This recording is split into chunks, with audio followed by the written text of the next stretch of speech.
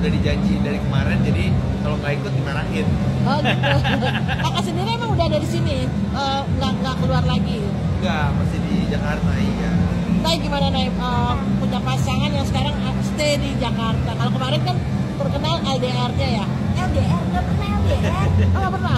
ya kan Oh. LDR yang sama Jatim iya LDR Jakarta Selatan Jakarta Timur Jakarta Selatan sama Jakarta Timur mungkin Oh ya bukan kemarin kan bilangnya katanya kamu ada isu-isu kamu LDR-an. ya kita nggak pernah LDR kita mungkin karena dia syuting kali banyak keluar kota Iya, Mungkin karena kayak gitu kali makanya ada gosip yang kayak gitu-gitu. Iya.